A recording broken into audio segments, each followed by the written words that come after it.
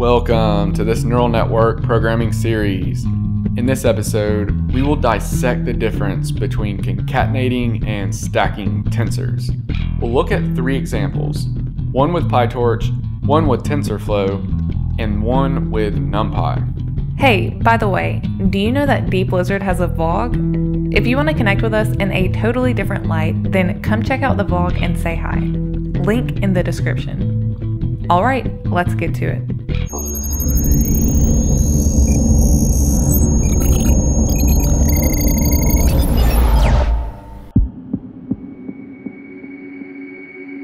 difference between stacking and concatenating tensors can be described in a single sentence. So here goes. Concatenating joins a sequence of tensors along an existing axis, and stacking joins a sequence of tensors along a new axis. So let's look at some examples to get a handle on what exactly this means. We'll look at stacking and concatenating in three frameworks PyTorch, TensorFlow, and NumPy. So let's get started. For the most part, concatenating along an existing axis of a sequence of tensors is pretty straightforward. The confusion usually arises when we want to concatenate along a new axis. For this, we stack. Another way of saying that we stack is to say that we create a new axis inside of all of our tensors, and then we can cat along this new axis. For this reason, let's be sure that we know how to create a new axis for any given tensor, and then we'll start stacking and concatenating. To demonstrate this idea, we'll start out by adding an axis to a PyTorch tensor. Here, we're importing PyTorch and we're creating a simple tensor that has a single axis of length 3. Now, to add an axis to a tensor in PyTorch, we use the unsqueeze function. We talked about this quite a lot in section 1 where we looked at squeezing and unsqueezing tensors. Here we are adding an axis, aka dimension, at index 0 of this tensor. This gives us a tensor with a shape of 1 by 3. So our original tensor had a shape of 3, and now our tensor has a shape of 1 by 3. So we went from a rank 1 tensor to a rank 2 tensor. Now we can also add an axis at the second index of this tensor. This also gives us a rank 2 tensor, but this time the shape is 3 by 1. Adding an axis like this changes the way the data is organized inside the tensor, but it does not change the data itself. Basically, all three of these operations are just reshaping the tensor. We can see that by checking the shapes of each of these. Now, thinking back about concatenating versus stacking, we said that when we concatenate, we said that we are joining a sequence of tensors along an existing axis. This means that we are going to be extending the length of one of the existing axes. When we stack, we are creating a brand new axis that didn't exist before, and this happens across all the tensors in our sequence. And then we concatenate along this new axis. Let's see how this is done in PyTorch. With PyTorch, the two functions we use for these two operations are called stack and cat. So let's create ourselves a sequence of tensors. Now let's concatenate these tensors with one another. Notice that each of these tensors have a single axis. This means that the result of the cat function will also have a single axis. This is because when we concatenate, we are doing it along an existing axis. Notice that in this example, the only existing axis is the single first axis. All right, so we took three single axis tensors, each having an axis length of three, and now we have a single axis tensor with an axis length of nine. Now let's stack these tensors, and to do this, we'll need a new axis. We'll insert an axis at the first index and then we'll stack these tensors along that axis. This, of course, will be happening behind the scenes of the stack function. And this gives us a new tensor that has a shape of 3 by 3.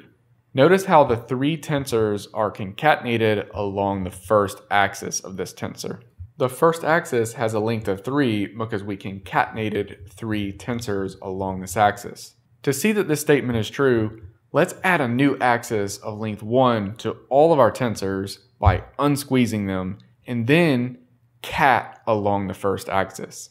In this case, we can see that we get the same result that we got by stacking. However, the call to the stack function was much cleaner, and this is because the new axis insertion was handled by the stack function. Let's try this now along the second axis. Note though that it's not possible to concatenate this sequence of tensors along the second axis because there currently is no second axis. But we can stack them. In fact, stacking is our only option here. Alright, we stacked with respect to the second axis, and this is a result. To understand this, think back to what it looked like when we inserted a new axis at the end of our tensor. Now we just do that to all of our tensors and then we can cat them like this. Here are three concrete examples that we can encounter in real life. Let's decide when we need to stack and when we need to concat. Suppose we have three individual images as tensors. Each image tensor has three dimensions, a channel axis, a height axis, a width axis. Note that each of these tensors are separate from one another. Now, assume that our task is to join these tensors together to form a single batch tensor of three images. Do we concat or do we stack? Well, notice that in this example, there are only three dimensions in existence, and for a batch, we need four dimensions. This means that the answer is to stack the tensors along a new axis. This new axis will be the batch axis. This will give us a single tensor with four dimensions by adding one for the batch. Note that if we join these three along any of the existing dimensions, we would be messing up either the channels, the height, or the width. We don't want to mess our data up like that. Let's see a second example. Now, suppose we have the same three images as before, but this time the images already have a dimension for the batch. This actually means we have three batches of size 1. Assume that it is our task to obtain a single batch of three images. Do we concat or stack? Well, notice how there is an existing dimension that we can concat on. This means that we concat these along the batch dimension. In this case there is no need to stack. Let's see a third. This one is hard. Or at least more advanced. You will see why. Suppose we have the same three separate image tensors. Only, this time, we already have a batch tensor. Assume our task is to join these three separate images with the batch. Do we concat or do we stack? Well, notice how the batch axis already exists inside the batch tensor. However, for the images, there is no batch axis in existence. This means neither of these will work. To join with stack or cat, we need the tensors to have matching shapes. So then, are we stuck? Is this impossible? It is indeed possible. It's actually a very common task. The answer is to first stack and then to concat.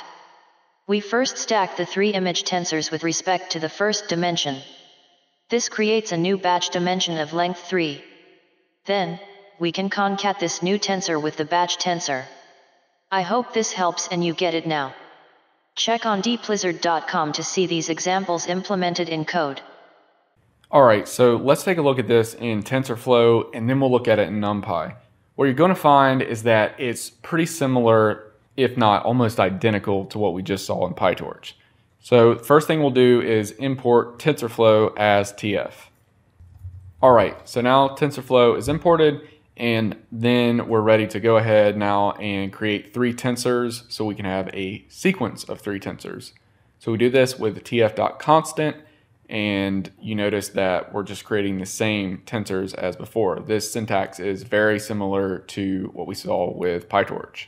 Now, instead of just torch.cat in TensorFlow, it's tf.concat. So in PyTorch, we have cat, and in TensorFlow, we have concat.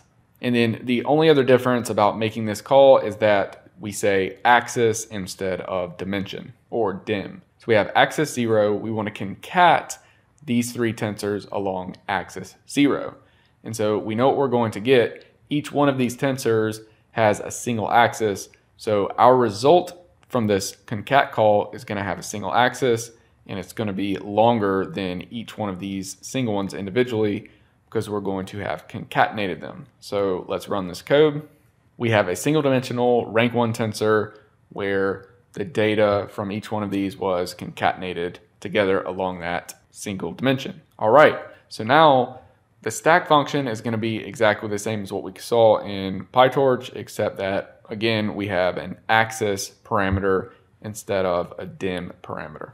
They both mean the same thing, though. So let's run this stack, and we can see that indeed we got the same thing that we got in PyTorch. So both of these functions work exactly the same. Now let's see if we can manually insert an axis first and then concatenate to get the same result that we get here with the stack function. So just like we did in PyTorch, we're going to do the same thing in TensorFlow. Here, we're going to we're going to call concat. We're going to pass our sequence of tensors in, but we're going to expand the dimensions of each one of these tensors. And we do that with tf.expanddims. Now, this is the same thing as unsqueezing a tensor in PyTorch. So in PyTorch, we call it unsqueeze. In TensorFlow, we call it expand dims. We're expanding our dimensions with respect to axis zero, and then we're also concatenating with respect to this new axis, axis zero. All right, and indeed, we get the same thing that we get with tf.stack. Okay, next we're just going to stack with respect to the second axis or the axis at index 1. Okay, and then we can do the same thing by expanding the dimensions of each one of these tensors first and then concatenating second with respect to the second dimension. Okay, and we get the same thing. So identical behavior between torch.stack and torch.cat and tf.stack and tf.concat. So now let's see how this is done in NumPy. So with NumPy, we have np.stack and we have np.concatenate. So in all three, PyTorch, TensorFlow, and NumPy, they all have a stack function, but each one of these libraries have called their concat function or their concatenate function a little bit different. In um, PyTorch, we have cat, and then in TensorFlow, we have concat, and then in NumPy, we get the whole shebang concatenate. So we'll go ahead and we'll import NumPy as NP. We're going to create three tensors, T1, T2, T3, and this is the same logic as what we did before. This is just doing it with NumPy.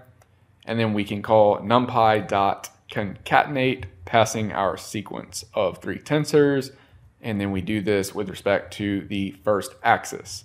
So NumPy uses the parameter name axis, just like TensorFlow. Okay, and then the behavior is exactly the same as the other two. Now we will stack np.stack with respect to the first axis. And again, the behavior is the same as the last two. Now, if we want to achieve the stack functionality with the concatenate function, we need to manually expand the dimensions of each one of our tensors first, and then we can concatenate with respect to this new dimension. So just like TensorFlow, NumPy uses, NumPy has named their function expand dims. So if we want to add an axis or expand the dimensions of a tensor, we use expand dims. Okay, so we'll run this code and we'll see that just like the other two libraries, we're getting the same behavior. And this is cool. We can also see this in the NumPy source code. We do this in Jupyter Notebook by putting two question marks before the function name and running the cell. Here, we can see that the stack function receives some arrays. Then, it checks that all the arrays have the same shape. This is a requirement. Next the expanded version of the arrays is generated. Then, these expanded arrays are passed to the concatenate function. So there. Now you know, and it is cool. All right. Finally, we'll just stack with respect to the second axis. Okay, and then expand the dimensions at the second axis and then concatenate and we have the same result once again. So this is how stacking and concatenating, we can think of the stack function as kind of additional functionality added on to the concat function. And so we've seen this demonstrated in all three libraries. So whether we're using PyTorch, whether we're using TensorFlow, or whether we're using NumPy, the concept is going to be the same. And this is often what we find when we're working with different libraries is it's all conceptually the same thing. We just might have a little bit different syntax, different naming schemes, or different notations, but that shouldn't kind of get in your way of actually understanding the concept and being able to seamlessly work within any framework or library. If you haven't already, be sure to check out deeplizard.com where there's blog posts for each episode. There's even quizzes that you can use to test your understanding of the content. And don't forget about the deeplizard Hive Mind, where you can get exclusive perks and rewards. Thanks for contributing to Collective Intelligence. I'll see you in the next one. L O L. It is pretty funny and ironic how concatenation showed up in this video.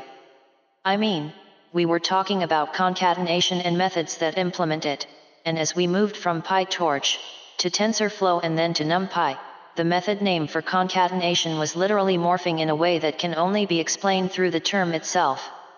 PyTorch uses cat. TensorFlow uses concat. NumPy uses concat and nate. That's deep. It's so meta.